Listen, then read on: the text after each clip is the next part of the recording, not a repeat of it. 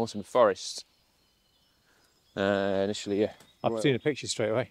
Yeah, you see Yeah. the pictures. Well, look, at that copse of trees and that one. I haven't finished my intro. I haven't Oh, finished my uh, my- my really pompous intro. Wait, go back. um, Mortimer Forest. Let me finish. Mortimer Forest, originally a royal chase, deer hunting. Most of this is parted in the 20s by the Forestry Commission, or whatever they were called back then. So this is again one of those situations of kind of things that appear natural but aren't, but have become semi-natural. Nature has had its mark on it, an imprint, and especially in conditions like this, Whoop. Oh yes, I see what you mean. How that's falling over. That's Yeah. lovely. So what caught my eye was this lovely little sapling coming out. And actually here, the lovely thing about this is the horizon line is quite high. Yeah. So there's a lot of narrative when the tree when the tree's on the on the journey up as well. And also for me this is perfect foreground. I just love this. Um I love this kind of foreground. Yeah. It just it's very English and very uh, It, it, it is, and and it's actually really it, it, it's functional as well. It, it, it's it's adding colour, Hmm. uh, and not, I don't mean in itself, but it's bouncing colour back up into the mist. yeah. Um, so so there isn't a there is there's going to be a transition in that mist. Um, I, I'm going to see it. You can see it as, as really really blue in the back of the camera, but there's that because of the the gold coming off of the bracken on the ground, um, and you can really see it in the back of the camera. Mm. It's just lovely.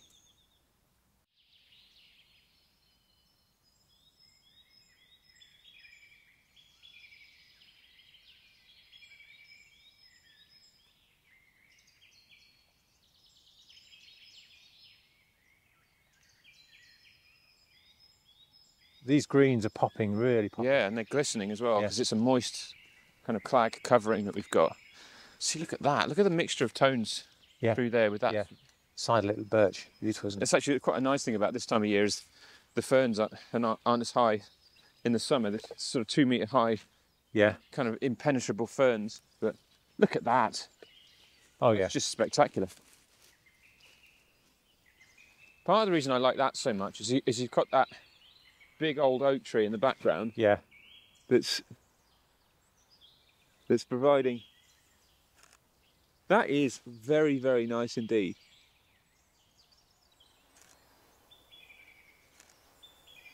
Yeah. and we're not in autumn either we're not in the kind of peak time for this sort of stuff i mean crikey that's lovely if you looked at the histogram of or the color palette analysis of this this kind of scene it's very flat Yeah. I mean, colour wise, it's very subtle, very, I mean, in a grander sense, it's quite unremarkable, you'd think, but it's, um, there's a minimal aspect to it, but it also, that minimal colour palette really brings forward the structural elements of the scene, you know, so the composition sort of sticks better, I think.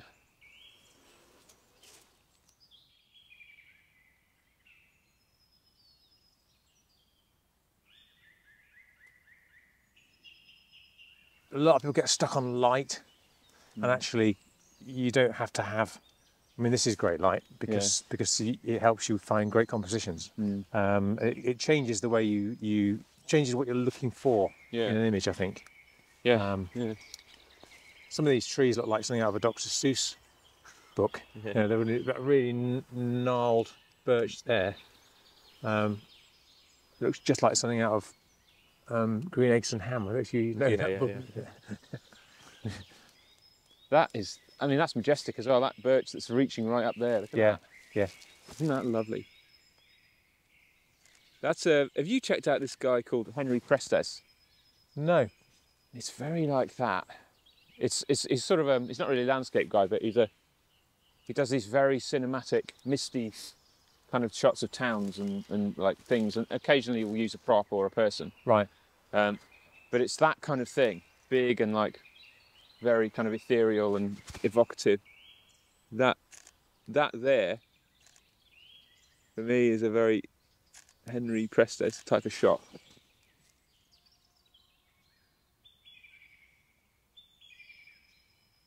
The things everything's accentuated when the conditions are like this, but in particular the kind of interplay between trees. And uh, because you've almost, with the clag and the mist, you've got another depth of field element that's going on as well as your optical depth, depth of field. Yeah. So you have almost like a timeline. You've got the things in the immediate foreground that are now, and then things in the future in the background, and branches reaching over and interacting with, with other trees. And it's very easy to anthropomorphize. I don't, I'm not sure if that's the right word when we're talking about plants, but uh, it's quite easy when you see scenes like this to anthropomorphize and make narratives in your mind about the kind of things, the conversations that are occurring. I think like successful woodland images always have that. They always have a, a storytelling element to them. Definitely, yeah, yeah. I've sort of resigned now to the last thing I want to sort of, so it's, it's different when I'm in the woods. The last thing I want to get is stressed. Yeah.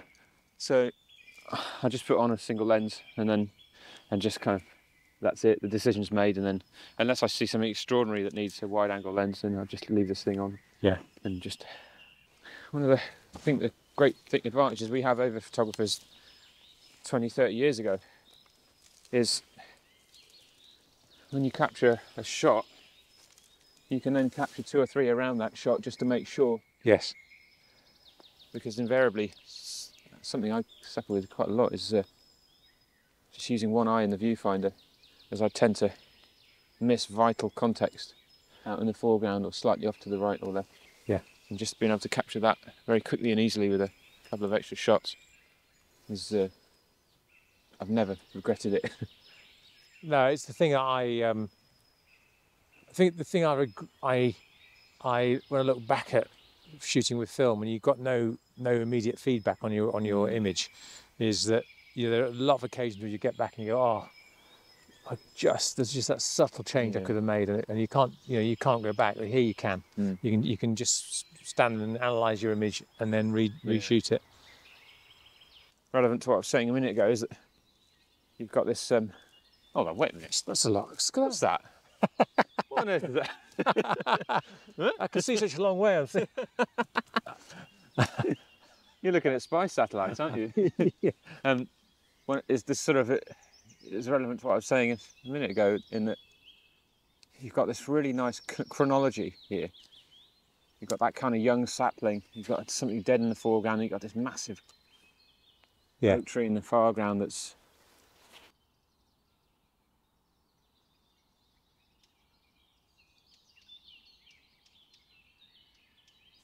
we've got out the car and probably not walked more than 100 paces 150 paces from the car. And all we've done is circle in this very small area. Yeah. Um, Yeah. Notice it's gone a bit dirtier now isn't it? A little bit Yeah. heavier. Yeah. A bit more moist. Everything's gone a bit kind of green and grey. I absolutely love the way that branch comes out and circles around. You see in the back, it creates a little, a little circle around Yeah. the top of that frame. So I think the luminosity of some of these greens, you've got this general murkiness. Yeah, yeah Yeah. you've got this general murky kind of feel to it right now. But then the, it's almost as though the air around the mossy trees is clearer. Mm. Um, yeah so they so there's a clarity there that isn't everywhere else. It's uh,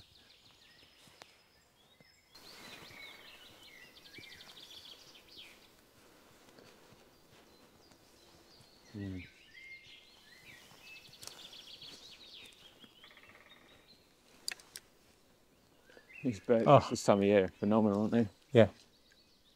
absolutely glorious Look at that. I think what makes these, what makes a an image, a woodland image, successful for me in, in these kinds of conditions is the way that something pristine can reconcile something very chaotic. Yeah. So you can have loads of branches, loads of colour, loads of chaos, and then a pristine sapling or a beautiful, elegant oak branch or the way that some young you know, like a, a branch can come out of something or new growth or something, some element that reconciles the two, the two things.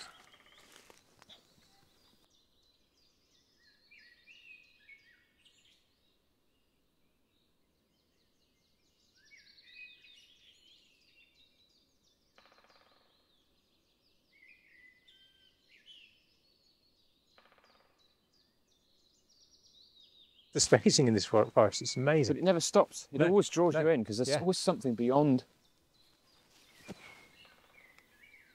Oh. Do you know when it's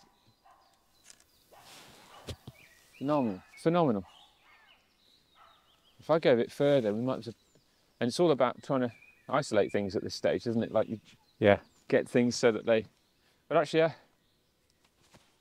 we spoke spoke about this on the on the I mean, uh, previous. yeah, I think a nice, I think something nice and and kind of wide of this actually. yeah, yeah. Yeah, everything. that's one of the advantages of mist and conditions like this is that Yeah. it sort of eliminates the human element again. Maybe that's part of the reason, the merit of it is these natural elements take over, even temporarily. You know, that's one of the kind of anomalies I've had in like my small amount of time I've been doing photography is when you talk to idiots, they usually tell you you have to have some sort of human, something for scale in Yeah. some human element. I mean, to me, that's the antithesis of what, what I'm trying to achieve. It's like the more of that I can remove, the better. I, I, I sort of draw the line at maybe with with a path. Maybe sometimes paths are quite nice, but yeah, can you imagine having a human in this? Good grief!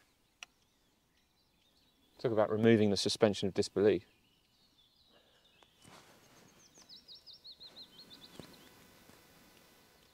It's got a timeless quality to it when it's like this, isn't it? It's sort of everything standing still, you know? Yeah. Things when wind's there and moving stuff and you have dyna- dynamic elements to pictures. It is very much a, a- you know, there's movement and kind of movement forward or movement backwards. But with this, everything's static. You know, you're having a cross section of, you're seeing a cross section of something at a moment in time.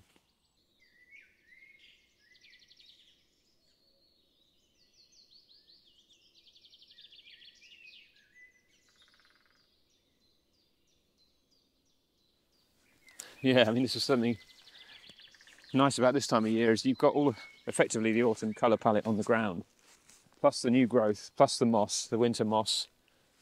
But you haven't got any in the tree, so you're only seeing the structural elements of the trees.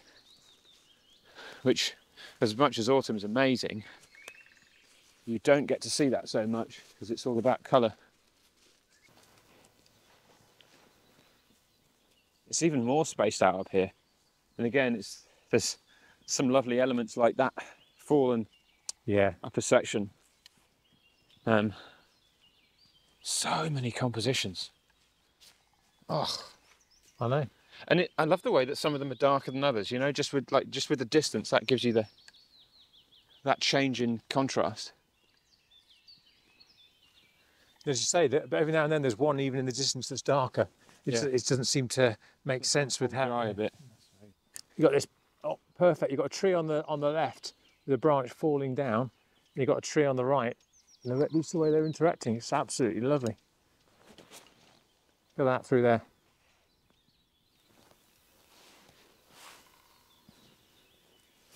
Really nice. It just does enough to uh, split the image up a bit. Yeah, there's a splash of colour in everything, and I think um, the moment it is all coming from the ground. You've either got the mosses or you've got the, the dead bracken. Yeah. Um, so you've got lots of lots of gold and lots of really fresh green. Um, Yeah. Oh yes. Oh, that's fucking lovely. That's delicious. I'm gonna have to do a. I'm gonna have to stack the.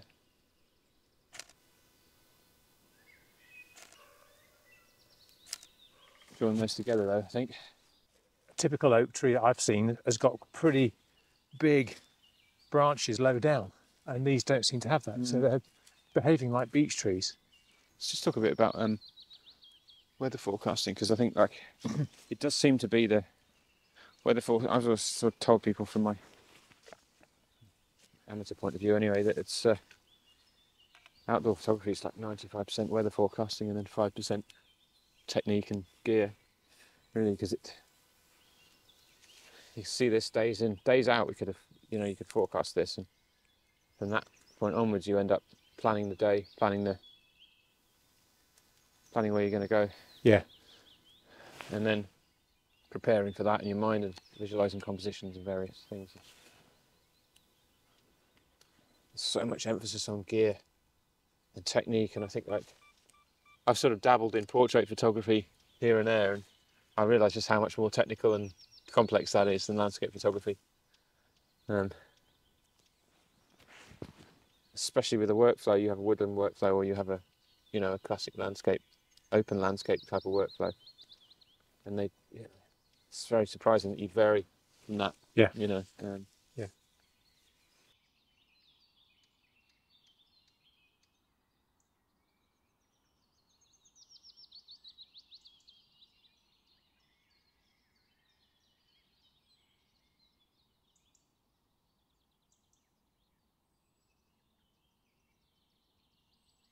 Good landscape photographers, they're experts in geology, experts in arboriculture, experts in, I say experts, in inverted commas, but experts in uh, forecasting, meteorology, experts in historical elements to do with things as well. And it's, it's sort of the, the skill of landscape photography seems to me to be more about, more in that kind of sector rather than I think you're right. I think it's a, it's a, it's uh yes, an understanding of of subject, and uh, and maybe an ability to to um, get that message, get that information across in an image. Um, uh, that that's beautiful as well. So it's not you know it's not just a a, a, a record or a fact. It's uh, something that, that goes beyond that. But it's um, you know what the the successful images from this place will be the ones that absolutely sum the the environment up here and Yeah. and give it a sense of history and uh, Yeah. time. That's just beautiful. this is, this arrangement of trees. I've been looking at this for years. Yeah. Every time I come across it, it's it's the same. It's like something that just really Yeah. works nicely. I think it's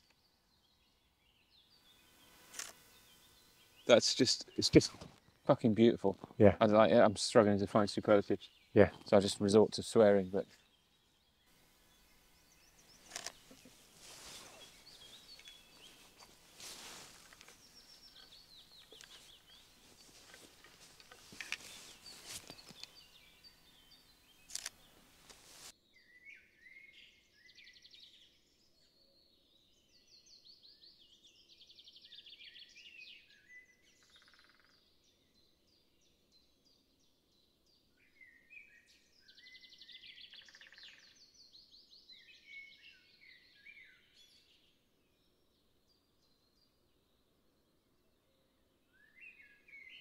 I quite like these little were silhouetted saplings in the foreground.